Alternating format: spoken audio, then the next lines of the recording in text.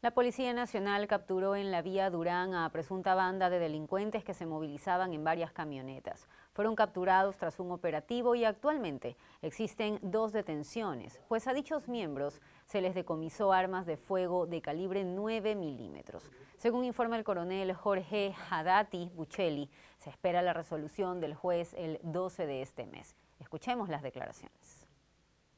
Con una orden de juez para realizar el desalojo. Al momento que nosotros estamos realizando el desalojo, tanto las personas interesadas del desalojo como los habitantes del sector, obviamente se alborotaron a ver los 150 efectivos policiales que estábamos nosotros dando cumplimiento a una orden de juez. Ahí se realizan dos detonaciones y es cuando las unidades tácticas neutralizan a estos ciudadanos y proceden a la